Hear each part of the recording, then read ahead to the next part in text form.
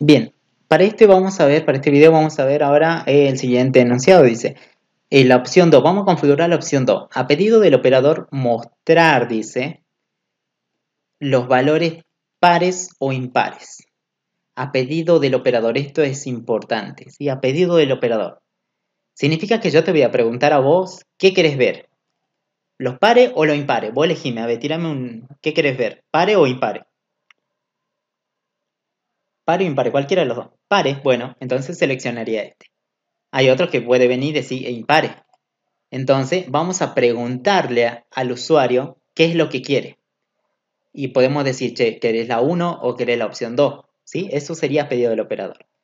Y también mostrame, dice, los números pares e o impares del vector. Obvio que el vector ya va a tener números, entonces vamos a mostrar los pares o impares. Y a la vez la suma de los mismos. Significa que si vos querés ver los pares, te voy a mostrar la suma de esos pares también. Si querés ver los impares, Está bien, te voy a hacer mostrar los impares, pero también te voy a mostrar la suma de esos números impares. Bien, perfecto. Ahora, vamos aquí, ya tenemos la opción número 2 configurada, vamos a pedir aquí. Voy a hacerle esa pregunta al usuario porque yo no sé lo que quiere ver, si yo no soy adivino. Entonces aquí voy a preguntarle, eh, eh, elija una opción. Una opción. 1, par o 2, Vamos a darle opciones numéricas, 1 o 2. ¿sí? O vos definirlo como vos quieras, digamos. ¿sí? Estoy haciendo un pequeño menú, ¿sí? Aquí, preguntando la opción 1 y 2. Voy a leer su respuesta en una variable, no sé, res. ¿Sí? Una variable respuesta.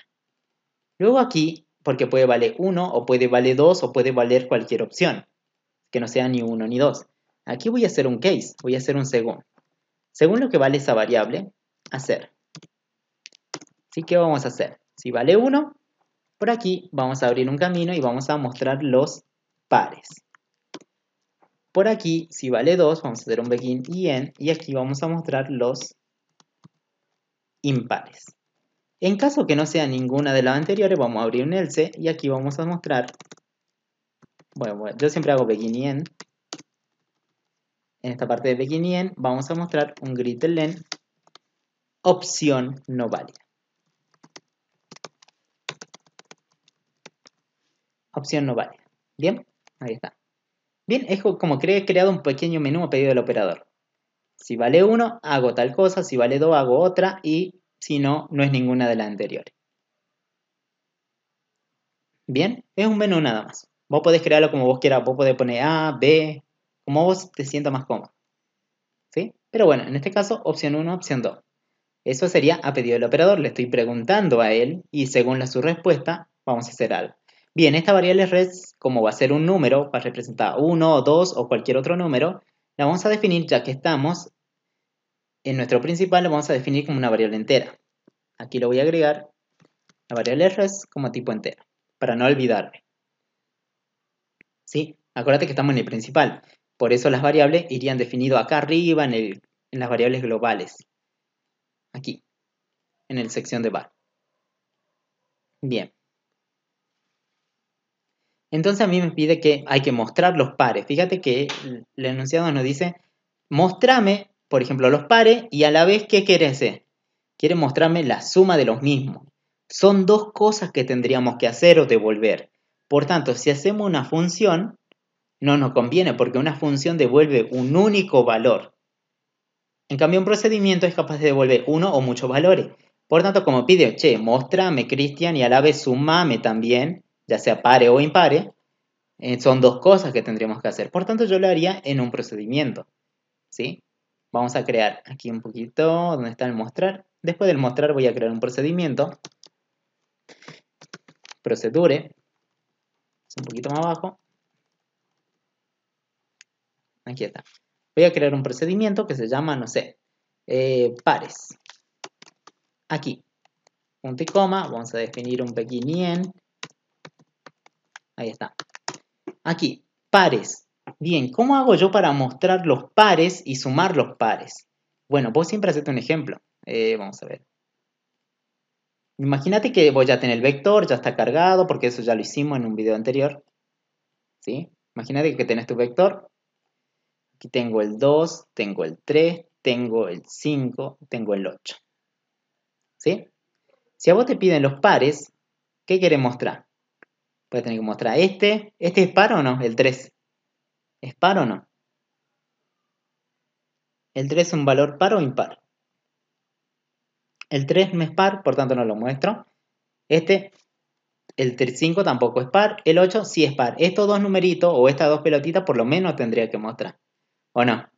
Ahora, aparte de mostrar, tendríamos que hacer la suma. ¿Cuál es la suma de 2 más 8? Y seguro vos tenés que decirle, che, Cristian, es 10 la suma. Bueno, son dos cosas que tendríamos que hacer. Por tanto, la pregunta es así. Para este procedimiento que voy a crear, ¿qué necesitas vos? ¿Qué necesitas tener? ¿Qué es lo más primordial? ¿Qué necesitas? ¿Qué necesitamos pasarle? El n, obvio, porque esto tiene una cierta cantidad, este, en este caso el n vale 4 porque tenemos 4 elementos, ¿o no? El n sí es importante, pero ¿qué más? Y el b, porque si no tenés b, no tenés toda esta estructura, no tenés todos estos casilleros. Por tanto, son datos importantes. Por tanto, Cristian, che, pasame aquí b. ¿Y ahora qué tipo es? De vector. ¿Sí? De vector y vamos a definir aquí el n, que es de tipo integer. Bien, ahí está. Bien, estamos parados aquí en el procedimiento. No te guíes con lo que tenga allá. Vamos al procedimiento nada más. Aquí adentro. Bien, perfecto. Tengo el b y el n. Listo, perfecto. Como en este caso se trata de mostrar, vamos a intentar recorrer cada posición, cada casillero. Necesito recorrer aquí, luego aquí, luego aquí, luego aquí. Por tanto, vamos a recorrer. Por tanto, yo voy a hacer un for. Voy a crear una variable i que indique la posición. Tú, ¿hasta qué valor? Hasta la cantidad de elementos que él me dio. Sería n. Hacer. Vamos a hacer un begin y listo. Vamos a mostrar. ¿Pero qué valores hay que mostrar? Los pares. Por tanto, si yo copiaría lo mismo que tengo en el mostrar, que es esta línea prácticamente, hasta ahí estaría mostrando todos los números, pero yo quiero solamente los pares. Para los pares, primero estaría bueno que vos hagas una pregunta. Si vamos a hacer una pregunta, vamos a abrir un begin. Si se cumple esa pregunta, recién que lo muestre. Vamos a preguntar, ¿cómo sabemos si el número este que estamos mostrando es par? Vamos a decir, que ese elemento en esa posición, para que sea par, se le saca el resto con el número 2 y si ese resto es igual a un valor de 0, significa que el número era par. Esta es la condición para par. Obvio, antes ustedes ponían num si el número era par. Bueno, ahora van a tener que poner un elemento del vector. Y un elemento del vector se especifica así. Va B, el nombre del vector, corchete, corchete, y adentro la ubicación. ¿Cuál es el casillero que quiero mostrar? Todo esto es un elemento. Imagínate que esto es una pelotita. Estoy diciendo, esta pelotita, le saco el resto con el 2, es igual a 0. Si es así, recién muestra toda la pelotita. ¿Estamos bien? Y ahí está. De esa forma mostraríamos los números Vamos a definir i como una variable entera. Y ahí está, estaríamos mostrando los números pares. Pero a la vez también te pedía esto de pares, vamos a mostrar la suma o no. Para la suma, yo me crearía aquí una bolsita que se llame, vale, vamos a poner suma. Dos puntos, asigno, y la suma siempre va en cero. Si vimos una parte donde está la parte de acumuladores, ¿sí? Creo un acumulador o suma par, como vos quieras, yo le pongo suma, ¿sí? En este caso. Como es una única suma, le pongo suma nomás la variable, o S, como vos quieras. Si acá el número es par, aquí lo estoy mostrando. Por tanto, aquí adentro yo digo, ah, mira, a la bolsita suma, le voy a asignar suma más qué valor. ¿Cuál es el valor que voy a tener que guardar aquí? En la bolsita para acumularlo. Voy a guardar el elemento, la pelotita. Si alguno dice, bueno, guardamos i. No. Si vos guardas ahí, estás guardando las posiciones. O sea, vos estás guardando 1, 2, 3, 4. Y eso no. No quiero el número del casillero guardar. Quiero guardar la pelotita del casillero. Y la pelotita del casillero es B, corchete, corchete y la ubicación. En este caso, acuérdate que la posición está dada con la variable i. Entonces, la pelotita, esta es la pelotita. Copiamos esa pelotita y aquí. Ahí está. Guardame esa pelotita aquí en el acumulador. Una vez que termine el for, vamos a mostrar. Vamos a mostrar cuál es la suma. Greetlem, la suma de pares estos puntos y vamos a mostrar la variable suma. Bien. Ahí está. Termina la estructura de recorrer todo y luego mostramos esa bolsita. ¿Esta bolsita de qué tipo tiene que ser? ¿Qué es lo que está guardando? Un elemento del vector. Y el vector que tenía números enteros, por tanto la bolsita, esta suma, tendría que ser entera. Ahora, si los valores del vector fueran reales, esta bolsita tendría que ser de tipo real. ¿Sí? Acuérdate, un acumulador tiene que ser del mismo tipo de lo que guardas. Si guardaste una naranja, el acumulador tiene que ser de tipo naranja. Ahí está, tenemos pares, un procedimiento pares. Tenemos que pasarle sí o sí el vector y el n.